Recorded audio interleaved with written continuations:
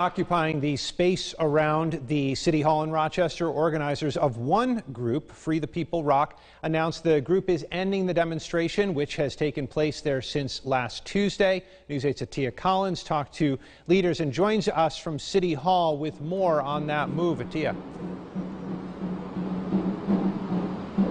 Well, Adam, like you said, City Hall behind me, it will be empty tonight as leaders plan the next steps in fighting for justice for Daniel Prude. Now, I did talk to some organizers from Free the People Rochester today, and they say they've been impressed with the movement up to this point, but they do say a break is needed for those who have been here every day so they can take care of their mental and physical health and plan for the next steps.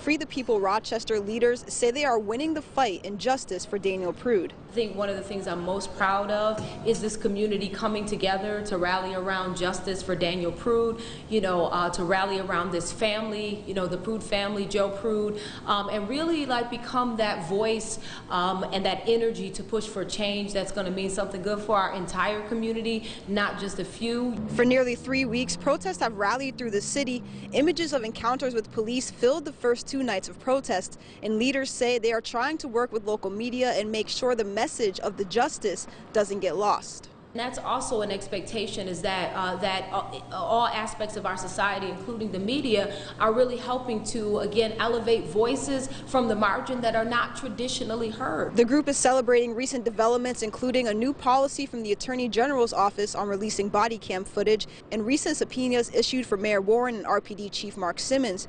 Protests have been going on for nearly three weeks, and leaders recently stopped occupation at City Hall, but say the fight is not over. So we have done this. We've actually brought awareness to a lot of issues. We brought awareness that has also resulted in change happening, you know, immediately and ideas that, um, uh, ideas being heard, you know, on a number of levels. And so this is not the time to be also draining everyone of the energy that it's going to take to really continue this fight. Protest leaders say they are going to plan future events and they still have a list of demands they are fighting for, including the prosecution of those officers involved in Daniel Prude's encounter and also the passage of Daniel's law, which will help, which will improve the police response to mental health calls. Reporting from downtown Rochester, Atia Collins, News 8.